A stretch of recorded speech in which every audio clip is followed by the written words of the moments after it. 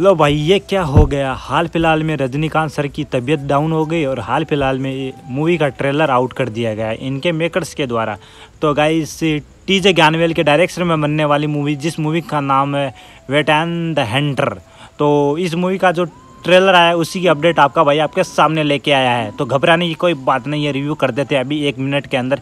And क्या है trailer है और क्या नहीं है? वो सारी की सारी डिटेल में बातें करते हैं। तो आप इस वीडियो को एंड तक वॉच करते रहिए। तो सुपरस्टार रजनीकांत सर के फैंस हैं, मैं उनको बता देना चाहता हूँ कि इस मूवी के अंदर हमको नज़र आ रहे हैं सुपरस्टार रजनीकांत, इसके अलावा अमिताभ बच्चन सर और इसके अलावा राणा डुगपति सर और अदर एक्टर की जहाँ तक बात करें तो वो भी हमको इस मूवी के अंदर मुख्य रोल में अपना रोल प्ले करते हुए नज़र आ रहे हैं।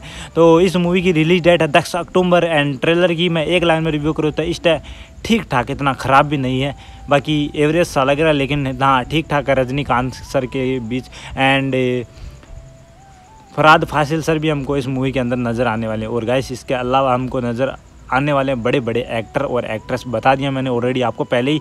और इसके अलावा अनिरुद्ध सर का जो बीजीएम बज रहा म्यूज़िक काफ़ी शानदार है बैकग्राउंड में। एंड क्या ही अपने सुपरस्टार रजनीकांत इस मूवी इस ट्रेलर के अंदर मार दाड़ कर रहे हैं।